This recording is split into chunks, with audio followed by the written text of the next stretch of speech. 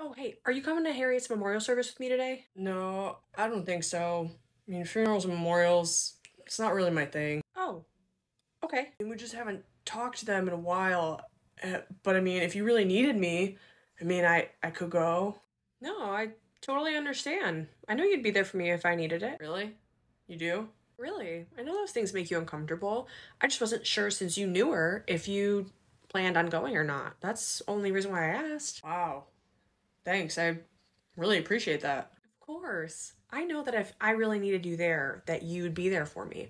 But I hope you also know that I would never ask you to be there for something like that if I didn't truly need your support. Yeah, you're right. I do know that. I believe that. Did you really think that I'd try to force you to go to this? I mean, you mean you're not going? Of course you're gonna go. I don't care if it makes you feel uncomfortable. Suck it up and be a man. I don't care if we haven't talked to them in years. How embarrassing is that gonna be if I'm there without you and you're not there to support me? Treacherous witch. Yep. Yeah, you you're not gonna have to worry about that here. I respect your boundaries and we will always communicate about stuff like this.